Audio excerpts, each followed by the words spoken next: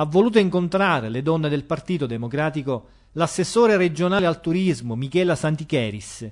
Al centro del confronto la situazione politico-regionale e i progetti in itinere dell'assessorato al ramo.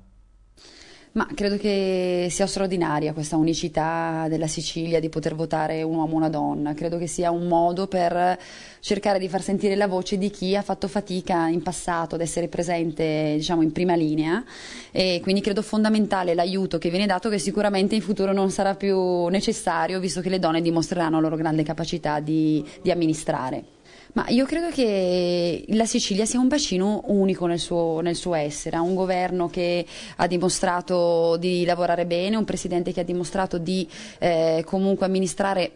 parlando con tutte le forze politiche, quindi credo che potrebbe essere una, un momento in cui anche la Sicilia fa vedere che è diversa rispetto alle altre regioni. Credo che l'esperienza che sta vivendo in questo periodo il territorio siciliano sia un'unicità rispetto al territorio, territorio, nazionale. Per quanto riguarda questa città, credo che si dimostri che il progetto vale molto di più rispetto a quelle che sono state in passato eh, delle divisioni politiche, ma eh, la concentrazione su dare un progetto che dia futuro alla città. Ecco. A proposito di città, ha parlato, cioè, negli giorni scorsi abbiamo eh, saputo che il 7 giugno ci sarà un incontro importante sull'aeroporto di Comiso e anche sul discorso turistico ha centrato molto del suo intervento. Che prospettive ci sono per la città di Ragusa sotto questo profilo?